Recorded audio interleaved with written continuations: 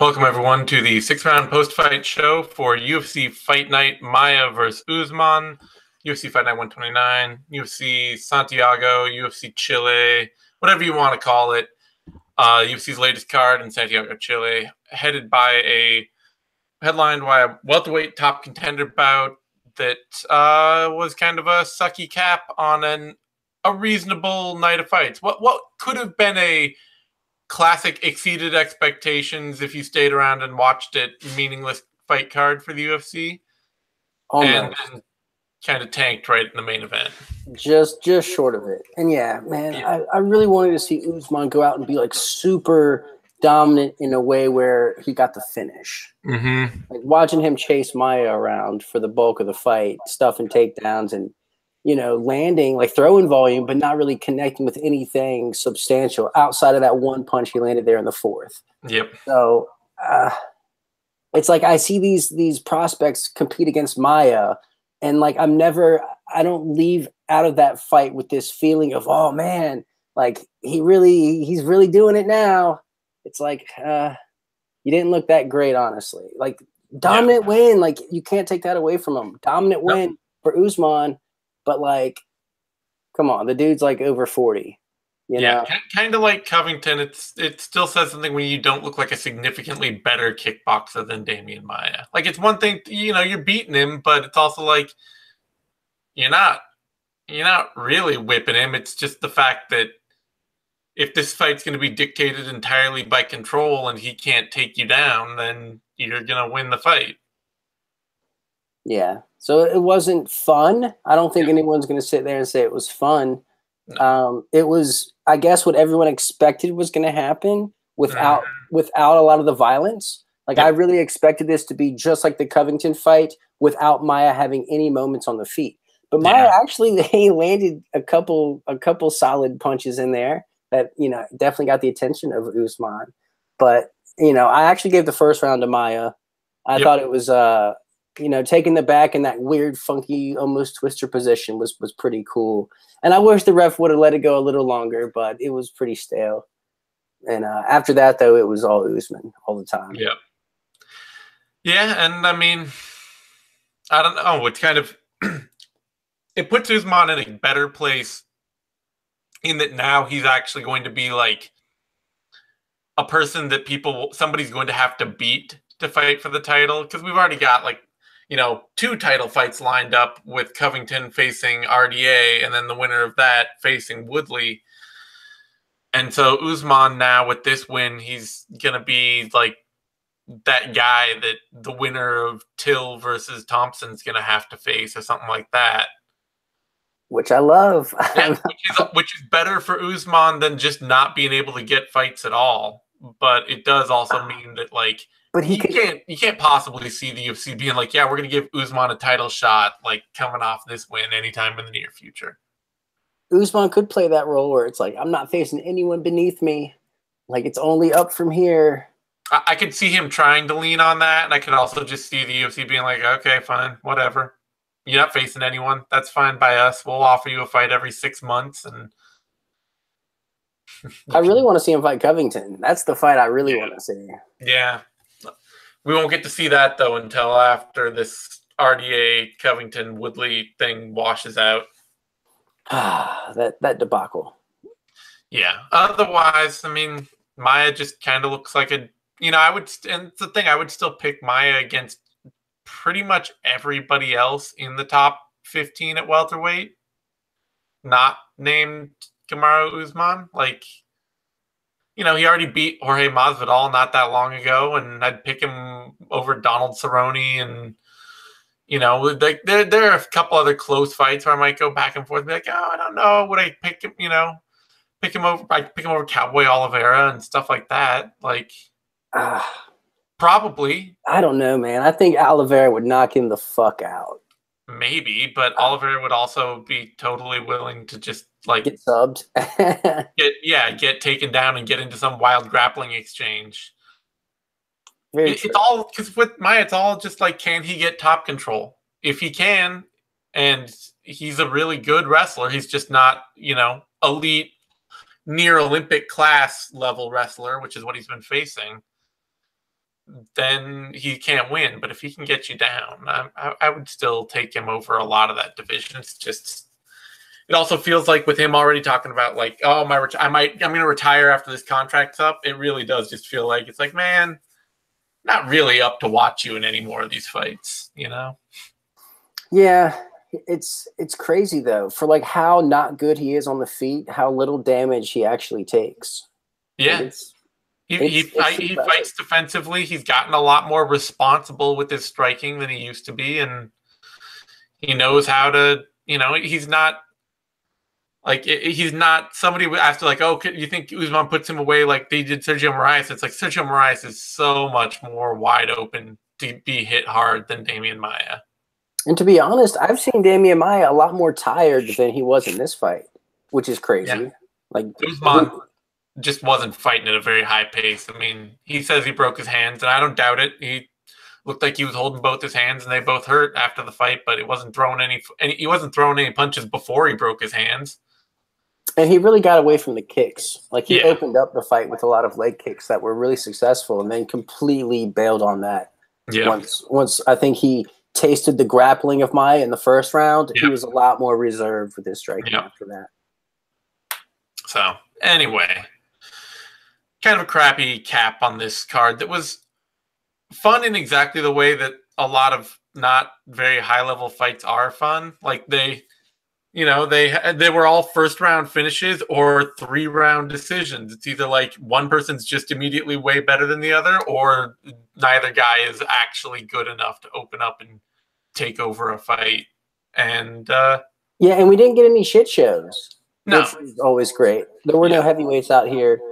Every every fight was pretty technical throughout. So yeah, uh, Not bad. Tatiana. Suarez absolutely just beat the brakes off Alexa Grasso, which is a great show for Suarez because Grasso's legit. You know, she's not a bad fighter, and she was a big step up from Amanda Cooper. That was That's damn near flawless. Yeah. Like come out, get the takedown, hit some transitions, take the back, rear naked choke.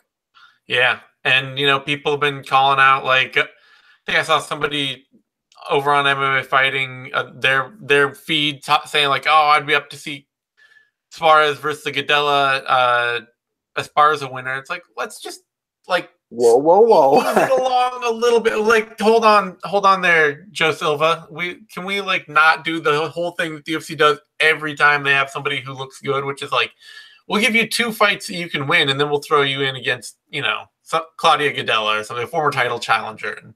Like the highest I want to see her go would be Michelle Waterson. yeah, Like that's legit. But anything anything further up the ladder is is I Yeah, mean not I- saying she couldn't pull it out, but No. it wouldn't be the matches I would go with. no, I, I can easily see her beating everyone ranked seven or below in that division, which is Michelle Waterson down. Yeah. But you start running up higher than that, and it's just like, why? You know, this person's been in the sport for a minute. Take a minute. You know? Yeah. And I mean, Um, Suarez, she only fought once in 2017. Yeah. So, I mean, she might not even fight again this year, but we'll see. Yeah, definitely. And she's she's only 27. She's just starting out. Got started in 2014. And she looked fucking great tonight. Yeah, she looked fucking great. And for Grasso, it's a tough loss.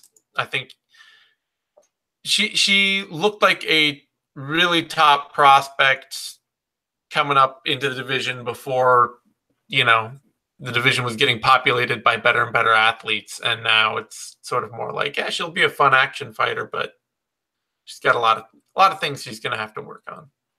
Yeah, this was a tough loss for her. Yeah. Uh, before that, Dominick Reyes beat Jared Cannonier, and we know one very, very important thing about Dominick Reyes now, which is that he's a legit finisher, pretty much up and down the light heavyweight division. Because Cannonier is not the best fighter in the light heavyweight division by a mile, but he's a relatively as tough as anybody else in that division. I mean, you go way up the line, and it's not like, you know, at this point, Glover Teixeira is notably got a better chin, or Shogun Rua, or OSP. You know, Yeah. I, th- I mean, th- this was crazy. I didn't Yeah. expect this at all, honestly. No. I, I, thought Cannonier's chin would have held up a lot better than what it did. I mean, because yeah. it was really like just two uppercuts. Mm-hmm. That was basically what what did him in here. The first one really hurt him and sent him, you know, wobbling, and then the second one made him face flop, which is always dangerous to see. Yeah, great performance. I think I, you know, it, it's a little bit too, um, unfortunately for Cannonier, a bad look that part of the reason he got knocked out is that he fought the worst style of fight he fights, which is running in on the front foot, just kind of letting his hands go a lot and not looking to counter. When he was, you know, doing the pressure counter thing and just kind of waiting for Reyes to throw the first punch and then stepping in with stuff, he was catching Reyes over and over again. But then the moment he started just getting wild and charging in, Reyes cut that little angle on him, landed that uppercut, and that was it. Yeah, and he, he picked up a walk off TKO because yeah. it wasn't officially ruled a KO for some reason. Yeah, I don't know why. Robbery. Either way, I mean that that to me answers the big question. I didn't. The big reason I wasn't picking Reyes in this fight is just I had no idea. You know, dude beating uh oh Jeremy Kimball and Ho- Joachim Christensen. It's just like, do you can you finish people the way you have been at any level in the UFC, or are you just going to be a dude whose game flies apart once you meet somebody who's got a decent chin? And this answers that question. It makes Reyes a real top prospect because the dude's obviously dangerous as hell. Yeah, seven first round finishes, or is it eight now? I think it's eight now. That's crazy. yeah, scary. And he called yeah. out Jordan Johnson, which I like. Yeah, that's that's a solid next step fight. Yeah, because he's undefeated too. So yep. you know, it's like they're gonna have to fight eventually. So yeah, and Jordan Johnson also hasn't been looking like an electric talent that's charging up the division. I, I normally I'd be like, don't put the prospects against each other. Let one of these like let both let them both shine and run up the division. But it's also like, yeah, Johnson, whatever if Reyes can be a real exciting force, I'll sacrifice anybody to that at light heavyweight. I don't care. Yeah, let's get him up there with the the everyone else that's really hittable and, and likes to take punches and see if they exactly. Uh, for that, Guido Canetti beat Diego Rivas, and uh, this, this was a little bit of a bummer. Not because it was a really bad fight; it was back and forth and scrappy, and both guys landed shots and all that. But you could just so see that, like, the weight of fighting in front of a home crowd was just crushing Rivas. Yeah, man, it's um, it's funny because I picked Canetti going into this, and as Rivas is walking out, I'm like, man, kind of want Rivas to win now. You know what yeah. I mean? Because it's like his hometown. He's the only only native on the card. Like I, I started wanting him to win. People are going nuts. It turns out Canetti yeah. said he was going to come in and colonize Chile with this win, and like Oh man, but like Rivas just came out and did exactly what I thought it was he was going to yep. do, and that is not enough. Yep. Like for being nicknamed the Pitbull, this dude really isn't that aggressive or no, that much of a savage. He's definitely not the Pitbull. He's yeah. Nah, he's like the border collie. yeah, yeah. Like it will bite you, you know, but it, it's not. But ain't uh, nobody fighting border collies out there. Yeah, it's not going to be your first round draft pick. That's for damn sure. Um, but Canetti did good, man. He he yeah. really, you know, in the face of being against the hometown fighter, getting booed religiously. I'm glad this wasn't a split decision because mm-hmm. I thought Canetti really did enough to win, and I didn't want to see the home cooking kind of sway the judges. Um, but like there was just so many times where Rivas just had too much momentum behind him in a transition that he got swept. He got rolled over, giving Canetti the top position. Like that happened a couple times. Like it was, it was like he was trying too hard at certain moments, and then he just couldn't put it together on the feet. Like he kind of turned it up there at the end and kind of went for it, but he just couldn't seem to do anything that that really hurt Canetti in any kind of meaningful way. So no, I'm not even sure he won that third round. Like that was just a back and forth. He made the back, the third round was just like a back and forth close round that you know they both had some sub attempts. They both landed some strikes and eh, whatever. Yeah, but I'm definitely glad Canetti won because he I feel like he deserved it. I, oh yeah, I feel like he deserved the win. Just I'm, I'm a little sad that the guy, the one guy who really like had the crowd was showing up for it didn't come close, really. Nah. Uh, before, before that, Andrea Lee beat Veronica Macedo. Workman-like, solid win for Lee. Mostly, Macedo just really doesn't look ready to compete at this level. Not because she's not a bad athlete. Like she landed that head kick in round two that, you know, had had Lee badly hurt, but then it's just too much ju- jumping into the clinch when she doesn't know how to wrestle, being willing to pull guard and give up grappling positions to go for subs. She's not going to get not enough consistent striking offense anywhere, and Lee taking a reasonable decision just kind of by being the better fighter. Yeah, the better all around fighter. Yep. Lee, she really showed some range here. Like Mhm. you- obviously, you know, everyone talks about her stand up, which actually really isn't that dangerous if you ask me. I don't feel like it's particularly particularly venomous. She Um, she's technical and she's got a little bit of power, but she's kind of slow. Honestly, Yeah, like people can see her coming, so it's easier to brace for her shots, and she doesn't tend to catch people off guard.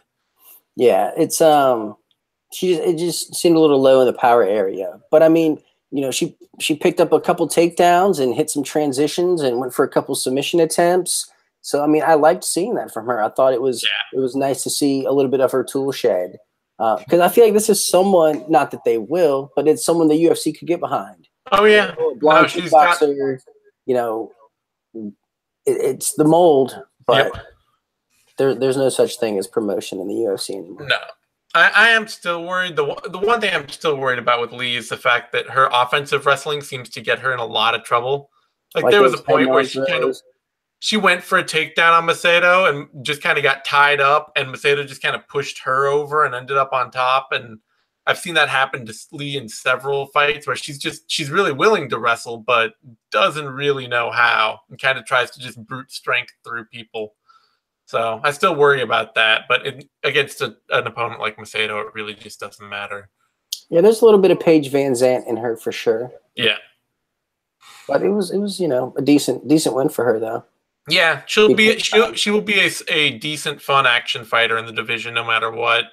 I, I'd still, you know, think that better schooled, faster athletes up the division are going to be able to pick her off a bit.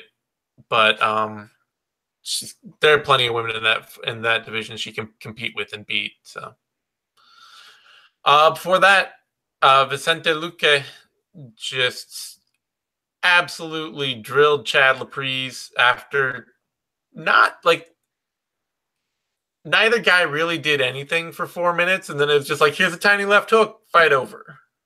I don't know. I feel like Luque was doing an excellent job of getting the timing of Laprise and just making Laprise uncomfortable with this constant forward pressure, a smooth and slick jab constantly over and over and over until Laprise finally went for something, like just Yeah. something, and got fucking wrecked.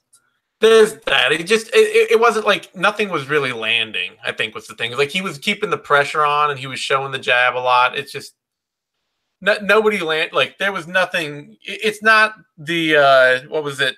It's not that um Gabriel Benitez and Humberto Bandenay fight earlier down the card where it's like 39 seconds. You're just like Jesus Christ, what?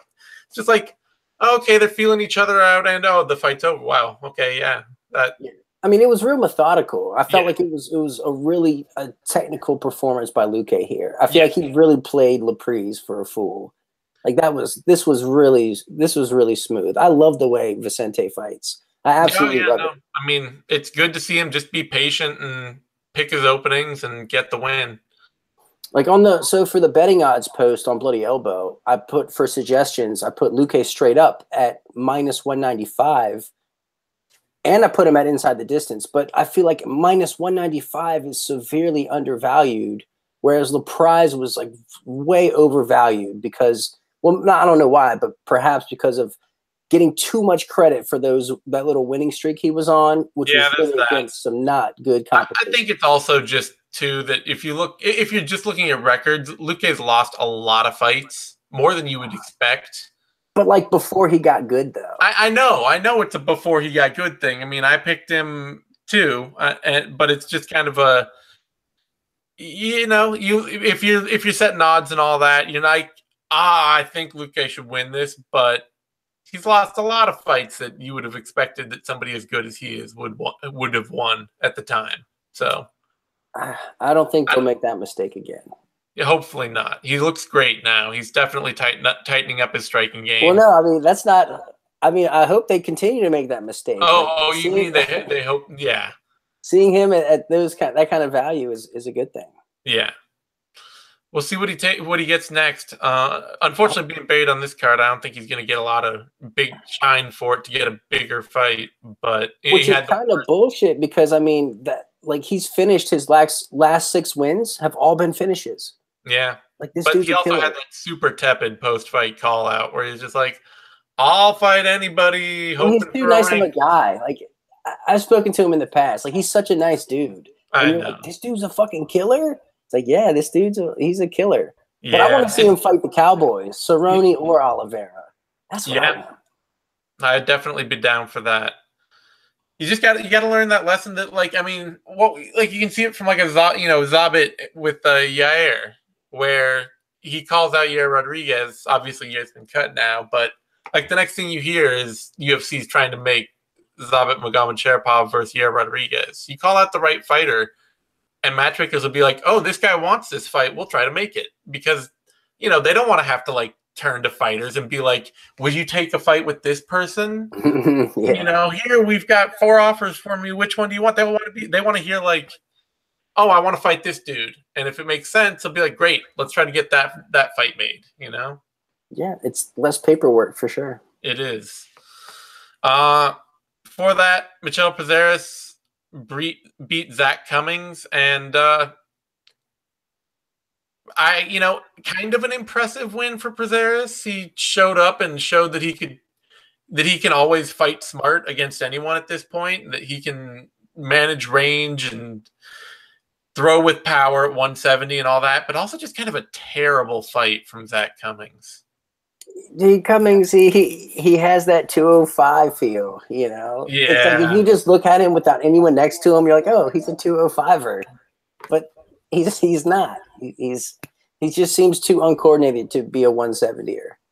Yeah, I think the thing what that really got exposed here is that he just has no range tools in his style. Like he's he's become a reasonable, decent, like busy boxer standing, a stiff one, but busy. It's just it's very, a boxer without a jab. Very Pez dispensary. You know? Yeah, and with no jab and with no like real kicking game he can bank on, and so even like against the dude who's like three foot three foot eight, he's just like, oh, I guess I got to walk in on this guy and trade hooks with him. Hope that works. Headbutt, get headbutted a ton because yeah. I'm just moving in on a brick that's shorter than me. he does look like a brick. He does. Dude. Oh shit. absolutely just built like a cinder block. Oh man. So like the takeaways for me though were obviously Prazeres at 170 and how he would do against a true 170er, and that's what this was. Yep. And um, how much better his cardio would be, which seemed to be a lot better. He wasn't. He didn't seem too gassed there in the third, even though you know I think he, he did let Cummings into back into the fight a bit. Yeah, but he he's done a really good job, even at lightweight lately, of managing his cardio so that he can throw a lot late and all that. I, I think he's going right back to 155 after this. At least that's what he said. But he's just weirdly like you look at any one part of his game and you're like, ah, he's fine. You know, he doesn't get a lot of subs. He doesn't knock many people out. He's not like a thrilling fighter anywhere. But he's kind of like Trinaldo, become very patiently just like a really good, hard to beat fighter. Really just smart all around, and he yeah. doesn't he doesn't lose often. No, he's on. I mean, dude beat Mairbek Taisumov, you know, which is crazy. It is. Man, I don't think it would go the same way if they fought again, but maybe not. But Mairbek Taisumov doesn't have a fight, so. He's out. He's about to uh, fight Diego Sanchez in a grappling match. Yeah, that, that's kind of sad. But all right. Before that, Alexandre Pantoja absolutely just pantsed Brandon Moreno in there. Yeah, that was cool. I like I was shocked. I I expected Moreno's like improved fitness and cardio to make uh, the same kind of busy war they had the first time, but for him to kind of pull it out as the fight went on. And Pantoja's just like, nah, I've learned a few tricks. I'm actually a much better striker now, and I'm just gonna pick you off all fight. It's like Pantoja was like, I've seen I've seen your bout with Sergio Pettis.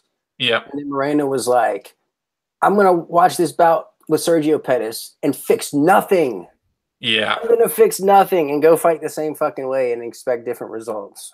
Yeah. I mean, it's more worrying to me that he just he looks like a busier version of in better shape version of the guy that he was on tough. You know, it's the strikes is still loopy and wild. He still doesn't have any defense moving forwards or backwards. He is still, you know, the his wrestling and grappling games are totally disconnected from his striking game.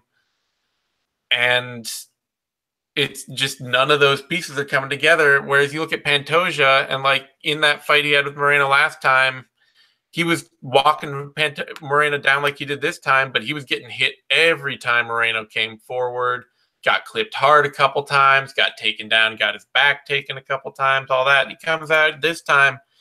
Every time Moreno steps forward, he's got a counter right waiting right there for him. Every time he walks forward, he's moving his head offline so he doesn't get hit coming back. And it was just a much more complete striking performance from him. Man, he looks so sharp out there. Like, yeah. So much more technical. He fought smart. He mixed it up a bit. I mean, Moreno was in it though. Like he was, yeah. he was getting hit a lot, but and he was busted up, but he was swinging back, and yeah. he was never really out of the fight. He just couldn't no. hit Pantoja, and he was too hittable. He's tough. He's got a great chin. He's got great cardio, and he's got you know, he's a scrappy fighter in the division. It's just none of the technique is following it. So if you have his number, like we saw in the Sergio Pettis fight, and like we saw saw here, he can't do anything to change the course of that fight. Nope, just hope to get lucky. Yep. In, in in midst of the the craziness of yep. how he fights. For that, Poliana Botelho beat Syuri Kondo, and man, also speaking of fighters who are getting better a lot quicker than I thought they would. Yeah, this was awesome. You gotta love uh, the body kick. Bas Rutten yep. is somewhere smiling after this. Oh one. yeah, this was cool. The, the power liver shot. Botelho, Botelho has always kind of struck me as a fighter who I. it seems like there's some idea of kickboxing in there, but it was all moving backwards and not sitting down on stuff, moving forwards. And that seems to be changing, you know? You got to give her credit. She stepped in with a powerful body kick and then followed it up with powerful shots afterward. If she can be that kind of aggressive athlete in that division, I mean, there there are fights to win at the bottom of it. She really reminds me of Amanda Nunes with the way she strikes. Like, just she hits so freaking hard. Yeah. And I, I, actually think she hits harder than Andrea Andrea Lee does. Oh yeah. She's, at, at she's much faster athlete. Just like clearly like on a, a bigger, a better hair trigger. Yeah, she's dangerous. She's definitely dangerous. She's probably like the the dark horse uh, as far as like dangerous strikers go. Yeah, well, I mean, it's it's all about her technical game clicking and becoming less the fighter who backs up and does the wild swinging hooks with her chin in the air and more a fighter who asserts themselves going forward and can actually take over space in front of her. She's got the power to do it. Yep. Fastest finish in UFC strawweight history. Nice. It was great fight, great performance from her. Tough loss for Kondo, and uh, hopefully she does. Kondo doesn't just become the next Seo Hee Ham, where she's just kind of a busy striker who's not physical enough to compete with that division. I don't know. That's the that's like the the Achilles heel for that division. Like if you can't strike, you're not going to make it very far. Let's see. Before that, Gabriel Benitez beat Humberto Bandenay. Man, that was a great fight. Yeah, this was crazy. Two full momentum swings in 39 seconds. This was insane, dude. Oh. Benitez comes out, lands his crazy uppercut, drops Bandenay, goes in for the kill. Bandenay locks up an armbar, and Benitez fucking just spikes his ass. He picks him up, slams him, and I think uh, I think Bandenay was unconscious at point of impact. Like, oh yeah, he lost consciousness because like when he slammed him, he had his hand right on his jaw. So yeah. like all that force was coming down right on the jaw, A couple follow up strikes, and it was a fucking wrap. What a cool knockout! Yeah, fantastic fight. I mean, because like you see Benitez, he's going in, he lands that huge uppercut to hook. It was even I think he, he hit him twice on the way down and head butted him. So you know, Bandit is like super rocked going down, and he dives in, and Bandit throws up that armbar, and you just see in your head, you're just like, he's gonna fucking get this armbar. It was tight. It looked tight. It looked deep. And then Benitez just picked him up and slammed him on his head, and you could see his head just bounce off the mat. And you're like, ah, that's that looks so nasty. Super fun, super fun fight. That's like shit you see on the regional scene. Yeah, you see that in, in the UFC. Well, and that's that's what I mean with a card like this. You get you get a guy like Humberto Bandenay, you're gonna get KOs like you see on the regional scene because you know dude's been fighting nobody but cans his whole career, and he doesn't really know the dynamics of a big tough fight. So. Man, this was so gnarly, so it devastating. It was super fun, and just for a quick stat, you could have watched that fight 30 times over before they got to Poliana Botelho versus Syuri Kondo. and then watched that fight 30 times, 40 times over but before they got to Alexandre Pantoja versus Brandon Moreno. Which I was cool with. I like the breaks. Yeah. It gives me a chance to step away from the computer and, you know, rest my eyes for a 2nd mm-hmm. Maybe get some food.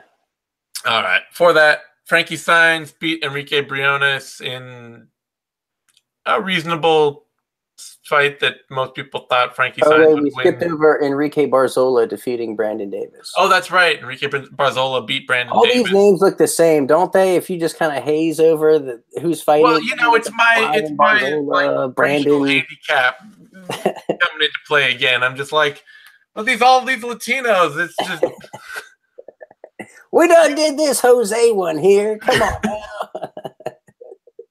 no, anyway, sorry. Okay, apologies to Enrique Barzola, who I like a lot, but uh, he he put on a dominating performance against Brandon Davis. Man, exactly. Enrique Barzola, NCAA Division One All American wrestler. Enrique Barzola. What? He's not. Is he Peruvian Dagestani? wrestling champ? Is he Dagestani? Like what? That's right. How does where does this wrestling pedigree come from? From it, it's mountain people. I mean, Dagestan, freaking, you know, Peru. It's just it's something to do with elevation. It has to be, man, because this is insane. Like that rinse and repeat style he just deployed. Mm-hmm. Like that was beautiful. That was like yep. he's good at it. Like he is really good at oh, it. yeah. John Fitch does it, it's boring. Enrique Barzola does it, that's fun. There, there was a really, really pretty moment late in that fight where Davis reached down for a single leg. Barzola gets the front headlock, uses that to break it, the the single leg down, and just snaps Bar, snapped Davis to the mat, and then took his back. And he's just like, that's just like a pretty, pretty gorgeous fucking textbook NCAA kind of snap down takedown. He's so good. He's in. It's so just not what you would expect when you look at him. No. Oh, he's obviously going to come out and to bite down on his mouthpiece and start swinging wild hooks. But now he's coming to fucking change levels and put you on your ass and then make you carry his weight and then let you up just so he can take you right back down again and then carry his weight some more. Yeah. I kind of feel bad for Brandon Davis though because he's got a super entertaining style that is incredibly limited by the fact that you really have to fight exactly his fight for him to to win.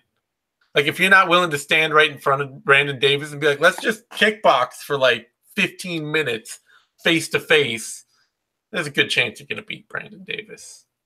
There's but plenty of guys that, will that will fight that way for him, yeah. but he's not going to climb the ladder doing that.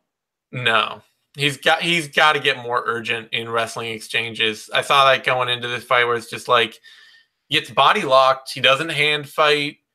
And what he often does to fight a takedown is he'll turn, give up his back, and then put his hands on the mat so that he's harder to it's harder to lift him up. But it's also just like you're just conceding all offense and position. And Barzola, then he can just trip a leg, he can just drag you backwards, he can just ride you there and throw knees to your body and legs. Like you are conceding every ability for your opponent to get done whatever he wants to get done at that point. And You can't do that against a guy like Enrique Barzola.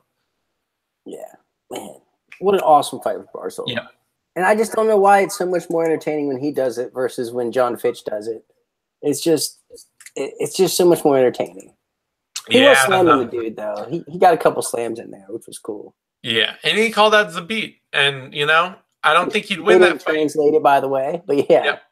I don't think he'd win that fight, but I'd watch it. I mean, dude's five and one in the UFC could easily be six and zero. And Anytime anyone calls out someone like that, though, like anyone that, like, you know, you have these hyped up prospects, yeah, some people duck them, but like, he's just like, fuck that shit. I'm to put this dude on his back.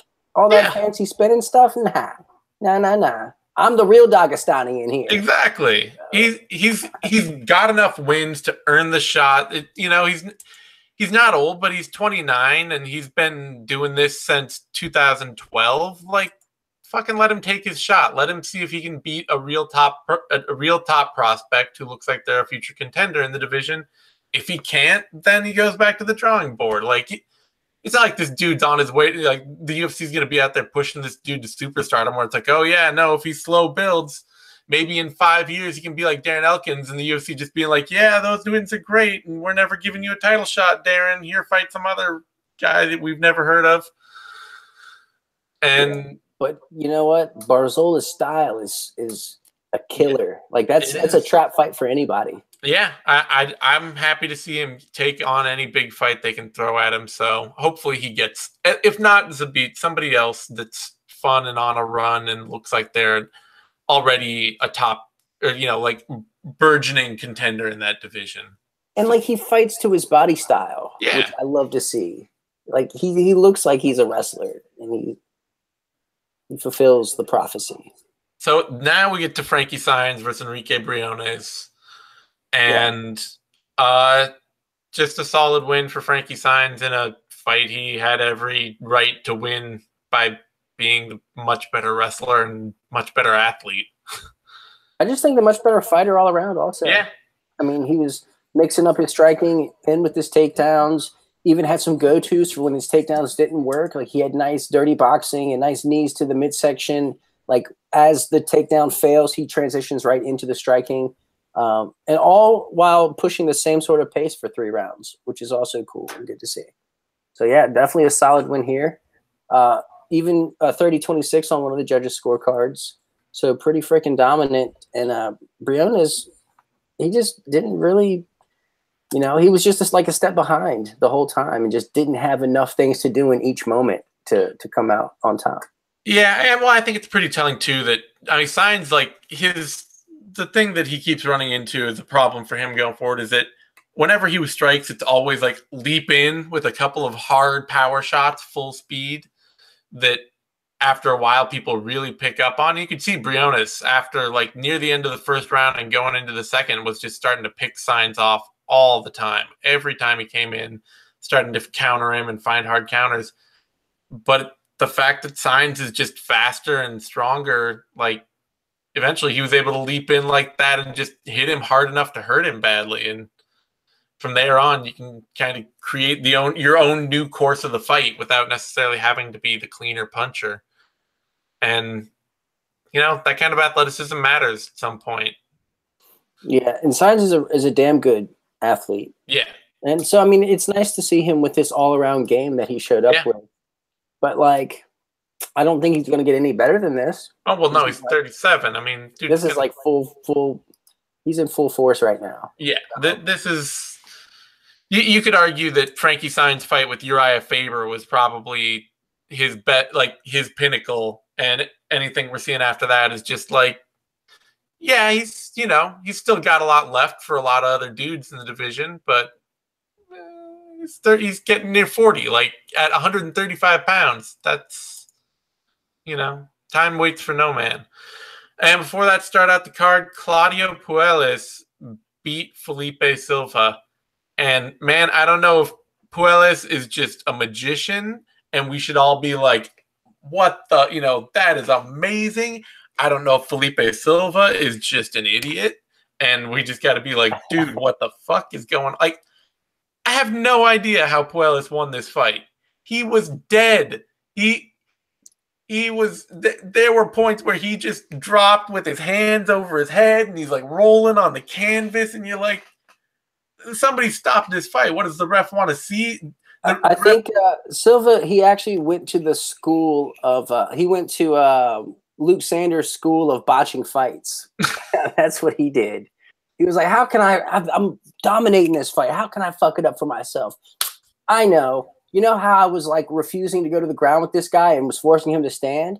I'm just gonna stop that and just engage on the ground with him, and you know. But, when he did, Puelles was dead, and it's not even like he like really fucked up with position on the ground. He was holding him down in the right spot. It just Puelles kept rolling for that knee bar, and he fucking got it. And it's just Jiu-Jitsu. Jiu-Jitsu is real, my friend. it, it was, if nothing else, it was a really fun fight between two dudes that at this point I have no expectations for going forward. It's just like, hey, you know, that's like a, a career moment for Claudio Puelles, who otherwise looks totally unready to face UFC level competition.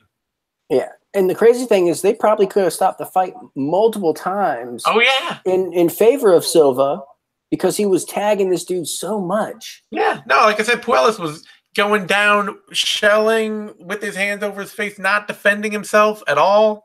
Like there was every reason to stop this fight. You go, you know, you look at uh, freaking Jared Cannonier getting stopped later, and like he face planted for a second, but then he's right back up and like moving around, and you know, like I, am I'm, I'm not sad that the that the ref stopped that fight, but these are you know he blew it.